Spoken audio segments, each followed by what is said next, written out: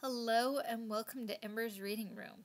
Yes, it's another Golden Book that's not Golden Book sized, and yes, it's another Rainbow Brite book. You you can totally tell by the playlist, right? And, and the thumbnail, I, I think the thumbnail gives it away. I am Starlight, the best horse. Most amazing horse in all the world. And this is Rainbow Brite Gets Rescued by Gina Ingoglia, illustrator uncredited. The sprites were on their way home. They had been working all night loading Rainbow Brite's magic star sprinkles into bags. Now they could rest. A low, smoky cloud was moving slowly up the road. It was coming from Murky Dismal's grunge buggy. Hmm. Yeah, you can see him in the background. Though I must say that trees are much more detailed in this one. Don't have like the stars on them or anything, but there's a lot more fuzz to them and leaves. Really? Hmm. I was thinking about the page where the tree had a smile on it. And instead, I pulled to the one where the trees were frowning. I think you're right. Interesting. My brain just got rid of the fuzz. Huh. Yeah, you're right. All right, now back to the book we're actually reading. Murky held seven bags of star sprinkles in his lap. What luck, he said. Only one sprite was guarding these. All it took was a toss of sneezing powder. He was so busy sneezing he couldn't call for help. You're a real genius, boss, said Lurky. I know, said Murky. Wait till we get home to the pits, and you'll see what I'm going to do with these sprinkles. He laughed out loud. I'll bet that sprite is still sneezing. And this time the smoke does look like smoke. It looks dirty and nasty and ugh. I don't remember the car having eyes. Murky Dismal was right. The poor little sprite was trying to talk as fast as he could between sneezes, but he was sneezing so much none of the other sprites could understand him. Finally, though, he stopped sneezing long enough to deliver his message. Oh no, said Twink, Rainbow Brite's favorite sprite. Murky Dismal has stolen seven bags of star sprinkles. We've got to tell Rainbow. At that moment, Rainbow Brite's helpers, the color kids, came along. Hmm. His hair is more orange than I remember it being in the other book. I'm talking about. Red Butler. Yeah. It's definitely orange, but it's a lighter orange in this version of the book. Yeah. It's more of a tangerine orange in the previous book, and this one's more of like a solid, what you would call a classic orange. Also, it has a bit more highlighting in the other book. Yeah, these are more solid colors. There's less shading going on. The color kids were the leaders of the sprites. As soon as they heard the news, they began to search for Rainbow Brite all over Rainbow Land. Red Butler and his sprites looked in Red Region. Canary Yellow and her sprites went all through Yellow Plains. Patty O'Green and her sprites dashed around Green Grange. Sprites, ordered Buddy Blue, cover every inch of the blue zone. Did we skip a page? No, huh. I don't remember Rainbow Brite being gone. I remember the Star Sprinkles being gone. Yeah, but they said they have to tell Rainbow. Oh! And Rainbow oh. wasn't with the color kids. I get the. It just seemed like a jump to me. Please continue. Shy Violet and her sprites hunted in Violet Valley. Indigo tried to find Rainbow Brite in Indigo Acres. We won't miss a spot in Orange Meadows, promised Lala Orange. And Twink went off to search on his own. Doesn't Twink or anyone else have like a way to like call her magically like a Rainbow Brite symbol? Or like a communicator or tapping on something? Apparently not. Or can't they just call for the horse? Can't the horse like hear them? I think he mainly just hears Rainbow. Meanwhile, Rainbow Brite and Starlight, her magical flying horse, were out scattering green star sprinkles in a grassy field. This whole place needs a little fixing up, said Rainbow. It's getting brown. Rainbow Brite hummed a little tune as she worked.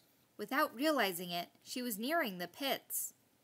I'll fly back to the mines and get some more star sprinkles, announced Starlight. Looks like we'll need more than we thought. And off he flew. Those don't exactly look like green. No, she is very clearly working with a mixed bag here. Hey, that could almost be a pun. Let's continue. Also, their layer in the background, Murky and Lurky. Mm-hmm. Inside his cave, Murky was very busy mixing all the star sprinkles together. Lurky, my boy, he said, you're going to learn about color. If you mix all the colors together, you get the most beautiful color in the world gray. It looks yucky, boss, said Lurky. Right, laughed Murky. We'll scatter it all over everything. The whole world will be gloomy. He grabbed a big handful. Let's go outside and try it, said Murky. What are their motives again? Why do they want to make the world gray? Because their big bad boss said so. Who is their big bad boss? I forget. Because he, like, never shows up. These guys are just villains of the week. We don't have a nice big bad like we do in the premiere. I also noticed that his shoes are untied. I forgot about that. Yeah, they're always untied. Murky ran to a patch of red flowers. They look kind of nice, said Lurky. Don't be silly, said Murky. They'll look a lot nicer after I make them gray. He tossed some sprinkles on the flowers. Still red, said Lurky. Murky Dismal couldn't believe his eyes. Nothing happened, he gasped. He tossed some sprinkles on the grass. Still green, boss. Also, the star sprinkles are still colors, they're not gray. Yeah, definitely still multicolored. Murky ran around, throwing sprinkles all over the field, but the colors stayed the same. Murky let out a groan and threw himself on the ground. I think I know what's wrong, boss, said Lurky. The star sprinkles won't work without Rainbow Brite's magic belt. Or Rainbow Brite. Though I can't remember exactly what was special about her in the movie that made her special in the movie. Well, she came to that world on a journey. She's not from that world. Hmm. And the process of her journey made her worthy of the belt and the title. Because it's not even her real name. Hmm. I'll tell you what I laughed at after. Murky jumped up. You're right. I forgot all about that. I'll just have to think of a way to capture her and get that belt. If you capture Rainbow Brite, then isn't it kind of game over? She's the ultimate magical MacGuffin in the series. Yeah. Murky sat down to think. He didn't move for a long time. Any ideas yet, boss? asked Lurky. Stop that humming and let me think, said Murky. I'm not humming, said Lurky. It's coming from over there. And boss, guess who it is? It's Rainbow Brite. What luck, said Murky. Looks like she's headed right for one of our sprite traps, he cackled, and she doesn't have that pesky horse around to save her. What I laughed at is how happy and delightful Rainbow Brite is on that second page. I mean, she's just, wow, that is cute. Ah, I thought you were laughing at the first page where Lurky, there's um, motion lines drawn. It looks like Lurky is patting the top of Murky's head. And to me, it just looks like all this dust is being raised up by the fact that he's doing that. Ah. Before she knew what was happening, poor Rainbow Brite had fallen deep into a sprite trap and was being carried off to the pits in a giant net. She could hear Twink calling her from far away. Twink, she shouted, over here! But Twink didn't hear her. And of course, it's going to be the horse. You know, the horse is going to come and save her, or Twink and the horse are going to get together and. Also, she's um, sticking quite far out of that net for it being a giant net. Wouldn't she, like, kind of fall out? Yeah. Twink kept searching. Rainbow, he called, where are you? Answer me. Then he came to the field Rainbow Brite had been coloring. He could tell she had been there because of the nice fresh grass. But then he noticed that a lot of it was left uncolored. Twink had an awful thought. This is very close to the pits. Maybe Murky Dismal has captured her. Just then, Starlight arrived, carrying bags full of star sprinkles. Where's Rainbow? he asked. Oh, Starlight, cried Twink. I think something terrible has happened. It's not like Rainbow Brite to leave a job half done. You're right, said Starlight. Murky must be up to his dirty tricks again. Let's go to the pits and see if we can find Rainbow. Um, Starlight went back to the mines to get more sprinkles, so wouldn't he know that Murky stole star sprinkles? I also love the way they color his tail. That is a very nice job. Just the technique and brush strokes in it. I really Mhm. like how it came out. Very difficult to keep it that neat on the plush. Murky Dismal's cave was at the top of a weedy hill. Twink and Starlight could see the grunge buggy parked out front. Quietly, they walked past the Keep Out sign and tiptoed over the creaking wooden bridge. Uh, the horse can fly. Carefully, they peeked inside the cave. Twink had guessed right. There was Rainbow Brite. I really do like how well they're rendering Starlight. Just the color in the mane and tail and the accuracy. He's a very nicely drawn horse. I'm going to put a gloom cloud over Rainbow Brite to keep her unhappy, Murky was saying to Lurky. Watch her while I go downstairs to get the potion. When Lurky wasn't looking, Twink waved to Rainbow Brite. She moved toward the cave opening. At that moment, Lurky looked up. Now don't go away, he warned. Oh, I won't, said Rainbow Brite. Also, aren't you supposed to restrain your prisoners? No cage, no ropes, no chair. And not a really good lock on the entrance to the cave. There's no door, it's just kind of boards. Which apparently they do all the time because all the pictures of the pit show those boards basically in the mouth of the mound. Especially since the mound has a face. And Rainbow Brite's all smiling and Twink's just wow. I remember that happening to him a lot in the series. Yeah, yeah. Twink was close enough to Rainbow so he could slip her some star sprinkles from Starlight's pack. But they've remembered to take her star sprinkles, but they didn't bother to take the belts. I remember that happening a lot too. You know what to do with these, Twink whispered. Rainbow Brite winked back at him. Then, with a whoosh, Rainbow threw a handful of star sprinkles all over Lurky. He began to giggle, and then he began to dance. While Lurky was whirling and twirling about, Starlight kicked open the wooden gate to the cave with his mighty hind legs. That's a gate? That is not a gate. Yeah, no. G- gates imply it can open and close. Also, we were talking last book on how the star sprinkles never seem to change anything a color that they shouldn't. But here, Lurky's being changed from its natural color to a whole rainbow. But I remember that happening to him a lot, so I'm I'm thinking he doesn't really have a natural color. Or else it's it only works this way when we want it to. Rainbow Brite dashed out of the cave and hugged her friends. That was easy, she laughed. Let's get out of here, said Twink. I'd hate to be around when Murky gets back. Yeah, celebrate later, escape now. A minute later, Murky was looking around the cave. Where is she? he asked. Where's who? Answered Lurky as he danced around. There's no one here but little old me, and I'm just as happy as I can be. What? shrieked Murky Dismal. Did you let that rainbow brat get away again? Well, his color's back to normal. Yeah, I guess it's only a temporary effect. And why is he so happy? Because he's also kind of dancing right now with the gloom cloud in the background.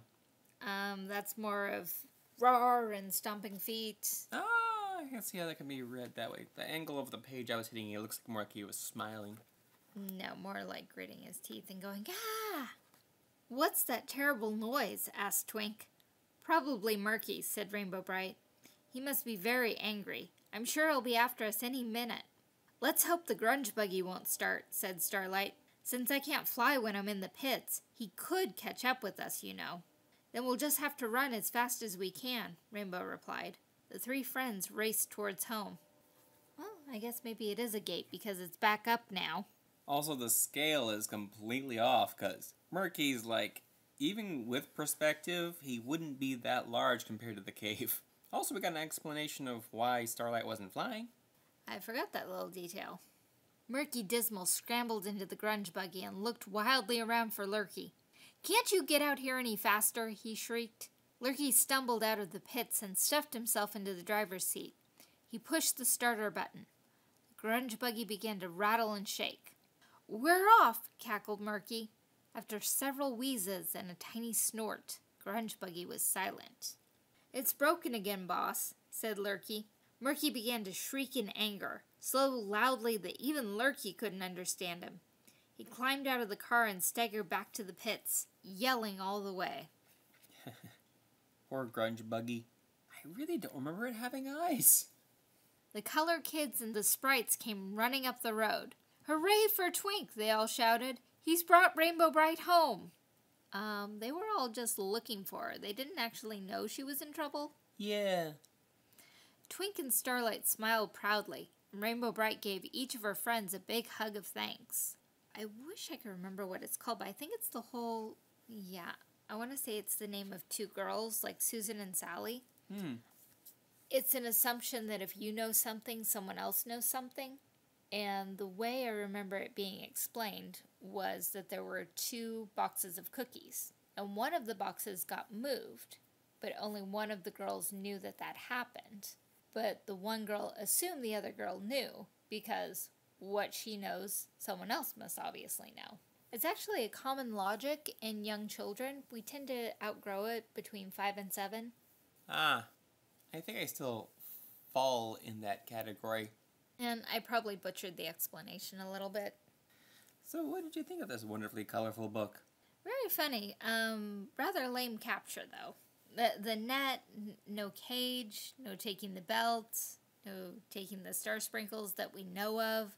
Though apparently she didn't have enough to throw at Lurky, so The art was very consistent again, though the line seemed a little rougher to me this time. a little softer. So I would almost want to say that the artists for the two books are different, even though it's both are very true to the style of the show.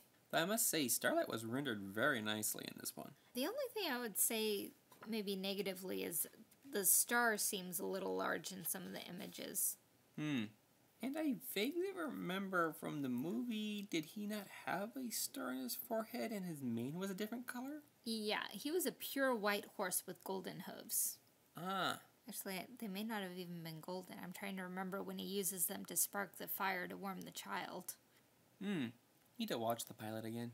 Yeah, I had to remember which VHS tape it's on, recorded directly from television. Ah, And this has been Rainbow Brite Gets Rescued by Gina Ingoglia, illustrator uncredited. Yeah, I'm pretty sure this is my last Rainbow Brite book, except for the record one that we probably won't be able to use copyright more so than usual. But there are a couple Rainbow Brite books. There should be a Rainbow Brite playlist if Lux remembers. it's usually pretty easy to create a playlist. I just forget to sometimes. Ah, so there are more Rainbow Brite books. There are more books that have 80s cartoon characters. There are more books, period. And if you want to go outside the realm of books, there's a whole section with pop culture stuff movies, video games, TV series, American and foreign. Want a copy of the book? I'm not sure how in print golden books for franchises that are not currently active are, but we'll see if we can hunt up an Amazon link. Just want to do some shopping? Yes, the Ebates link is still there.